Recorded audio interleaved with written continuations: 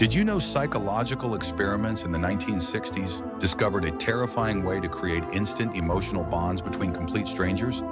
Researchers locked couples in sensory deprivation chambers for 72 hours straight. No light, no sound, no outside contact.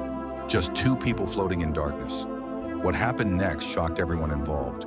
The shared vulnerability and complete elimination of external stimuli triggered something disturbing.